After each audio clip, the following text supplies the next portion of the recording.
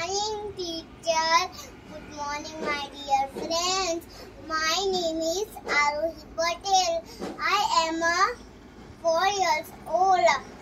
I am a studying IPK school. Uh, today I am going to represent Gujarat state. Look at my dress. I am wearing chania choli. I am Gujarati girl. Do you know our Prime Minister Narendra Modi ji? He also from Gujarat state and capital of Gujarat is Gandhinagar. And I, I, I want to eat Gujarati food.